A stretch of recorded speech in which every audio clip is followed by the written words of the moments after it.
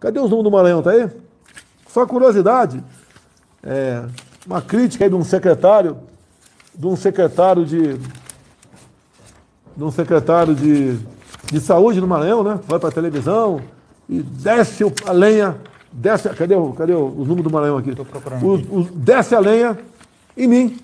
Desce a lenha em mim como se, se nós não estivéssemos fazendo a nossa parte. Então, os números para o Maranhão, nós é, destinamos ao Estado do Maranhão, cujo secretário de saúde nos criticou, o ano passado, 19 bilhões de reais.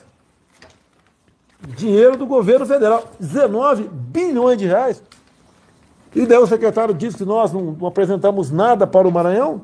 Não tem cabimento esse tipo é, de crítica é, que faz, fazem ao nosso, ao nosso governo. Para efeito de, de auxílio emergencial, estava na casa dos 12 bilhões de reais. Dinheiro na veia do povo sofrido do Maranhão. Né? Então nós fizemos, foi quase um bilhão de reais para, ou melhor, 300 milhões de reais especificamente para leitos UTI no estado do Maranhão. Cadê o leito UTI? Sumiu tudo. O secretário disse que nós não, estamos, não, não estamos ajudando. Para onde foi essa grana? Eu acho que vou perguntar para a Polícia Federal, para tirar a pratos limpos, já que não tem, e o dinheiro foi dado, para onde é. Valeu, valeu cara da peste. Para onde é que foi, foi esse recurso? Então, olha aqui, ó.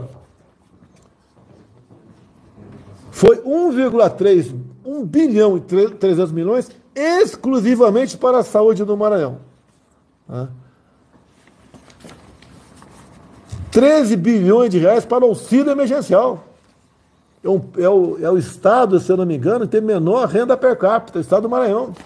Não por acaso é governado pelo Partido Comunista do Brasil, onde o comunismo cresce exatamente em cima da miséria.